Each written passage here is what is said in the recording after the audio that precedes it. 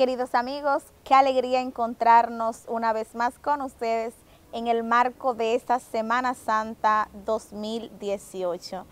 Padre Eustaquio, Sarana Lidia, qué alegría tenerlos con nosotros nuevamente. Compartimos esa misma alegría, Sol María Teresa, de estar aquí con un público que nos escucha, nos ve con mucha atención y que participa de las cosas de Dios, que es a lo que le dedicamos esta Semana Mayor. Es una alegría inmensa reconocer que en cada uno de nosotros está la vista, la mirada de Dios observándonos para que le, le, miremos a Él y tengamos ese contacto directo con Él, hermana. Así es, y en el marco de esta Semana Santa, de estos días santos que, en la que la iglesia nos invita a profundizar sobre el amor de Jesús, un amor que se hace entrega, vamos a tratar justamente el tema de la entrega y el servicio. Si la vida consagrada tuviera un apellido, el apellido sería el servicio. ¿Por qué es tan importante para la vida consagrada? Y pienso que no solo para la vida consagrada, sino para todo cristiano, el servicio y la entrega. Es sumamente importante, Sol María Teresa, porque en Jesús tenemos el modelo de servicio. ¿Qué hizo Jesús en la última cena? Le lavó los pies a sus apóstoles, a sus amigos. Y eso es lo que estamos llamados cada uno de nosotros, a servirle a los demás, especialmente al que más te necesita. Entonces es importante tener esa apertura de que Jesús entre en tu corazón y te llene de paz y de amor. Y ese, esa paz y ese amor y esa entrega, tú no te vas a quedar con ella solo o sola lo vas a compartir con el prójimo, con el hermano, siendo buen samaritano, siendo compasivo y misericordioso, teniéndolo a Él como modelo. Y es que la vida consagrada es una donación, la entrega, el querer estar y ofrecerle lo que tengo, lo que soy a otro para ayudar a otro. Y el servicio es eso, recibir, recibir apoyo, recibir eh, una mano amiga que quiera ayudarte a crecer, que quiera ayudarte a estar y a dejar que Dios te guíe. Por eso que va muy unido, vida consagrada y servicio, porque la vida consagrada es un servicio, es una entrega desinteresada por amor, por amor. Así es, es que ante ese don tan grande, ante ese regalo tan maravilloso que hemos recibido de Dios y que lo hemos recibido de manera gratuita, no podemos hacer otra cosa que dar, dar de manera generosa eso que justamente hemos recibido. Ustedes hablaban de Jesús como modelo de servicio. ¿Qué características específicas tiene ese servicio y esa entrega de Jesús? Tiene el hecho de salir, salir hacia el otro, salir y buscarle, el estar atento por la situación del otro, el observar lo que necesita aquel, ir donde él. Jesús iba donde le necesitaban. Jesús salía, caminaba, evangelizaba. Jesús se enfocaba en ayudar a quien él notaba que le necesitaba. El servicio de Jesús era desinteresado, pleno, completo, para ayudar, para no soltar a aquel que él sabía que necesitaba una mano amiga. También Jesús acompañaba al otro. No se quedaba solo, siempre daba un paso más para buscar a los demás. Promovía lo mejor de la persona para que dieran lo mejor de cada uno. Reconocía en él sus valores y lo que podía hacer. Entonces, eso que Jesús hace y sigue haciendo es lo que nos reta a nosotros a servir, un servicio generoso, desinteresado, como lo hizo Él. Estamos llamados para servir y ese servicio es lo que nos va a dar a nosotros la felicidad, a la que todos estamos buscando, pero que muchos de nosotros la buscamos por el camino equivocado. Y en vez de buscar la felicidad, encontramos entonces la desgracia. No hay mayor alegría cuando uno sirve con amor. El que sirve se siente bien, pero el que sirve es el que tiene la mayor alegría. Entonces busquemos esa alegría, esa alegría sincera, como lo hizo Jesús, teniéndolo a Él como modelo. Entonces Jesús era cercano, buscaba, acompañaba, estimulaba, confiaba en el otro. Cuando alguien necesita, necesitaba de Jesús, ahí estaba Él. Cuando esa oveja se perdía, ahí salía Él al encuentro de esa oveja perdida. En esa actitud de perdón, de acogida, como lo hizo el Padre.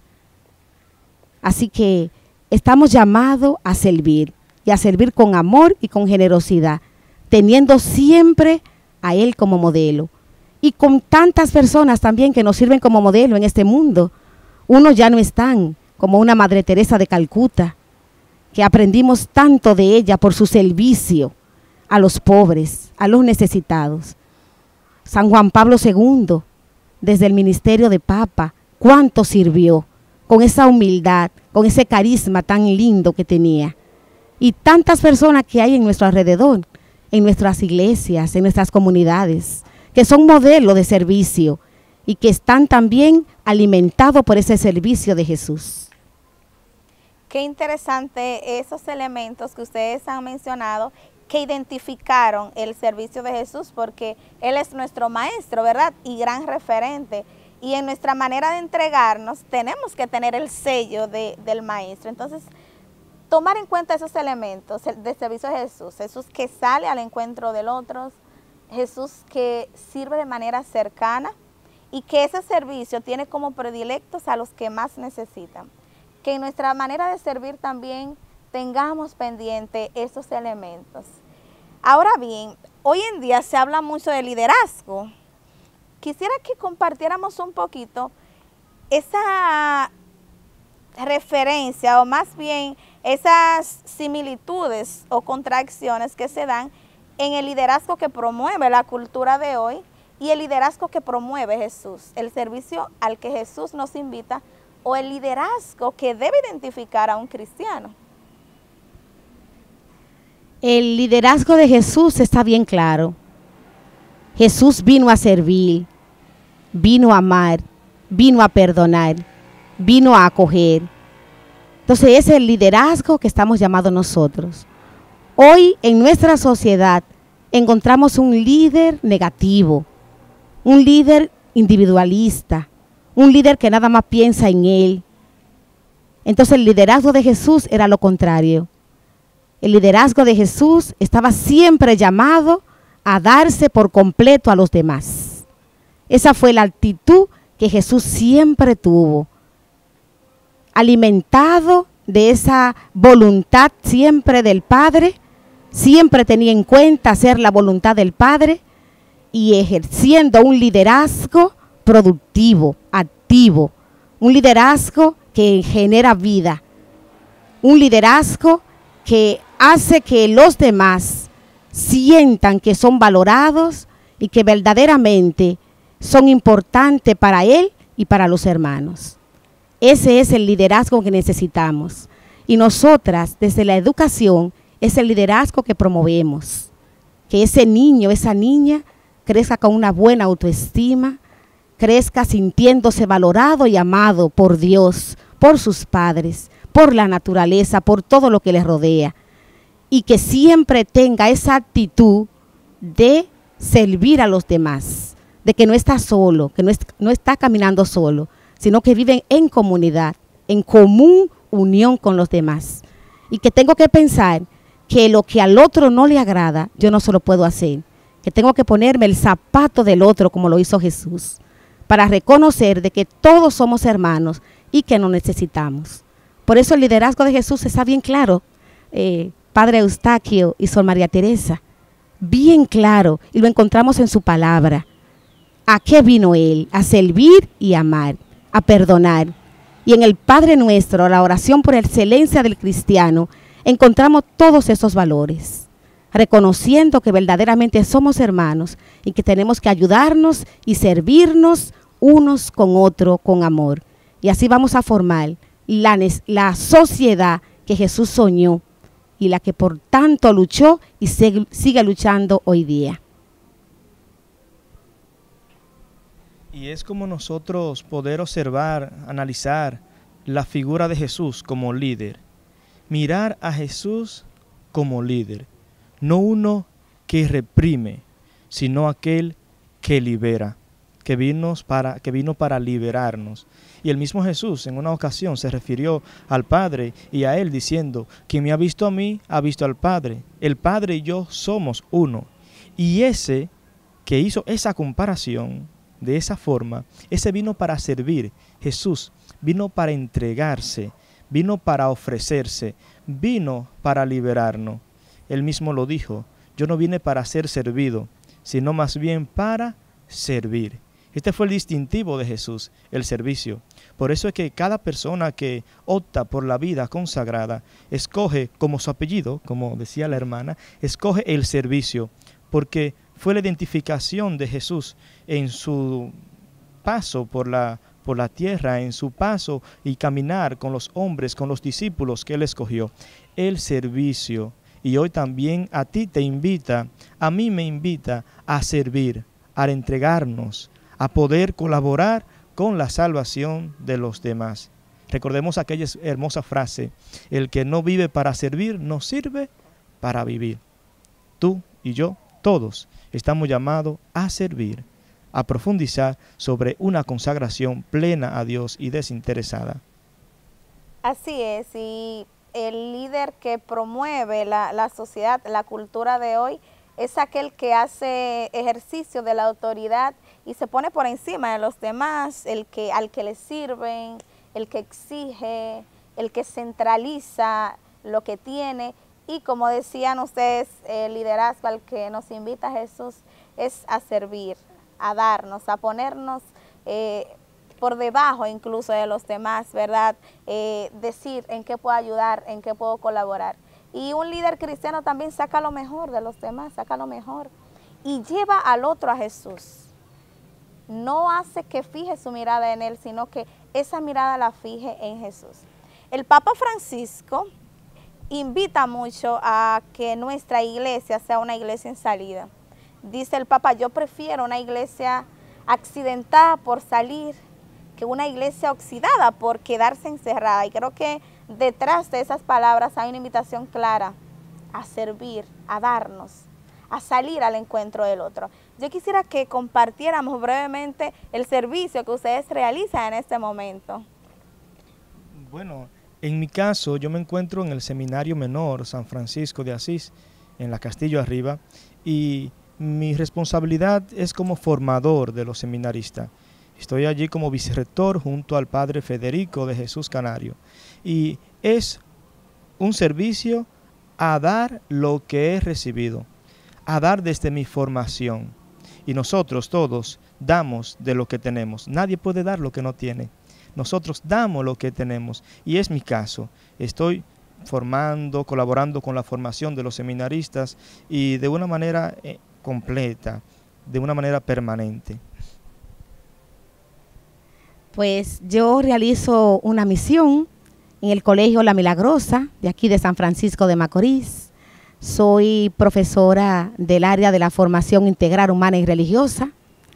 Este, trabajo en la catequesis, en la promoción y enseñándole compartiendo la vida con los niños y niñas y adolescentes, dándole a demostrar que la vida con Jesús vale la pena, que Jesús es amigo, es cercano, es tierno, que nos acompaña, que nunca nos deja solo.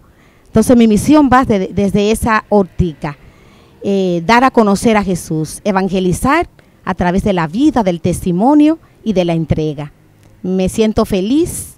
Ya tengo aquí en San Francisco de Macorís seis años trabajando en el Colegio La Milagrosa y me siento feliz porque de verdad estoy en mi área, me siento contenta. Hoy nosotros eh, compartimos un Via Cruci en la comunidad y la comunidad circundante.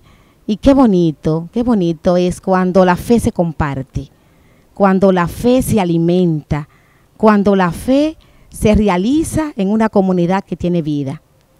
Así que ese es mi servicio. También trabajamos en, junto con el padre Eustaquio en la promoción pastoral vocacional, a la que tengo también varios años trabajando en ella, promoviendo la vocación sacerdotal y religiosa. Vamos por los diferentes centros educativos, compartimos con los diferentes grupos juveniles y de adolescentes para compartir lo que es la fe, lo que es la vocación. La vocación es un regalo de Dios. Así que estoy feliz de realizar esa misión, pero también siempre estoy abierta para que donde quiera que Jesús me mande, ahí estoy yo para servir y para amar. Así es, y queridísimos hermanos, ustedes que nos ven a través del televisor, queremos recordarle que también Papá Dios cuenta contigo, que también tú tienes una misión y tienes algo que aportar a la sociedad, a la iglesia, a la familia. Lamentablemente hemos llegado al final, el tiempo se ha ido muy rápido, ¿verdad? Bastante rápido, sí. Hemos llegado al final de nuestro programa y no queremos despedirnos sin que antes el Padre Eustaquio nos regale su bendición, nos regale la bendición del Señor. Y ojalá quede en el corazoncito de cada uno de ustedes ese deseo de servir y de dar generosamente lo que Dios a ustedes ya les ha dado gratis. A nosotros nos lo pide como consagrados, pero a ti desde la familia, desde los estudios que realiza, desde el servicio que haces en tu parroquia, en tu comunidad. Nos preparamos para recibir la bendición del Señor. El Señor esté con ustedes. Y con tu espíritu. Y la bendición de Dios Todopoderoso, Padre, Hijo y Espíritu Santo, descienda sobre ustedes y permanezca para siempre. Amén. Pueden ir, seguir en la paz del Señor.